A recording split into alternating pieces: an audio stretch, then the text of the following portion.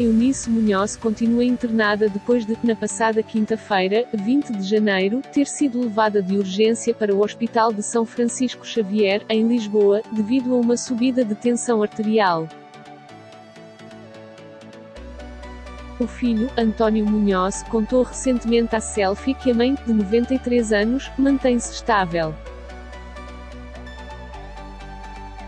Não há previsão de alta, mas, esta tarde de segunda-feira, 24 de janeiro, a médica dirá o que vai acontecer nos próximos dias, acrescentou o filho de Eunice Munhoz, garantido estar tranquilo com a vigilância médica apertada.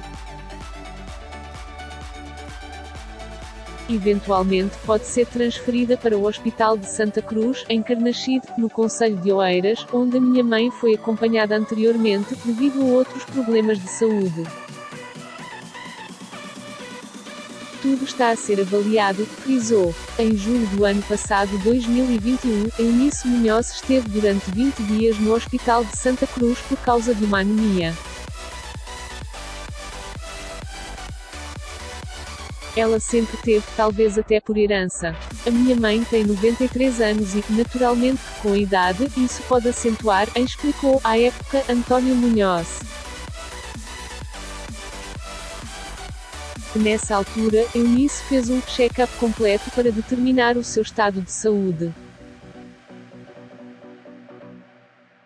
Podia fazê-lo estando em casa, mas assim é mais cômodo. Não nos podemos esquecer, e é uma coisa que eu já repeti várias vezes, que ela tem 93 anos, alertou o filho. Continua a ler aqui. Nas redes sociais, Lídia Munhoz também se pronunciou sobre a hospitalização da avó, como pode ver aqui. Eunice Munhoz celebrou recentemente 80 anos de carreira e foi homenageada no Teatro Nacional de